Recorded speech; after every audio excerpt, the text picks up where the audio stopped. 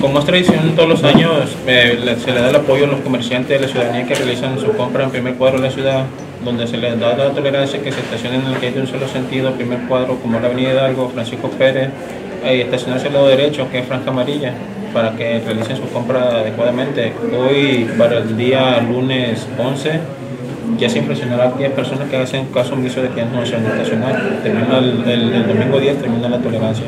A carretera Escuela Tecapán se están realizando operativos radar a las personas que conducen a exceso de velocidad no respetan los señalamientos, que circulen en las noches sin luces, se siguen infraccionando también.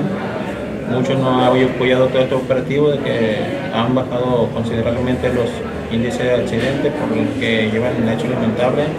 Afortunadamente en esta administración se le ha bajado mucho los accidentes y como también el nombre que se le tenía anteriormente como la carretera de los muertos, pues gracias a Dios que no, no ha surgido accidentes lamentables.